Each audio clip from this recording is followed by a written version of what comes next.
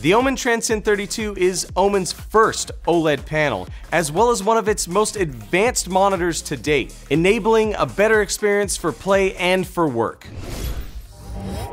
Hi, I'm Daniel Teller with the Omen Displays team, and today we're going to be taking a look at the Omen Transcend 32.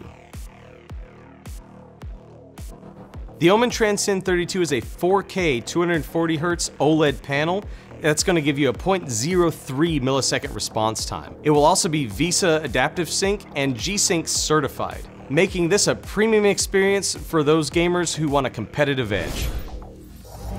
Now let's talk about color. This is a professional color display. It's going to come VESA HDR True Black certified, as well as factory color calibrated. That's going to give you several wide color gamut profiles to choose from, and the option for user color recalibration, making this the ideal display for work and for play. Speaking of work and play, the Omen Transcend 32 has a dedicated KVM button, so you can quickly swap between PCs. Or use the advanced KVM option, Omen Gear Switch, to software switch your USB ports between the different PCs while running them at the same time.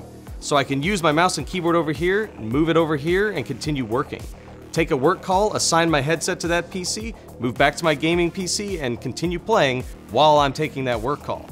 And with the 140 watt power delivery through USB-C, you can drive your laptop with a single cable.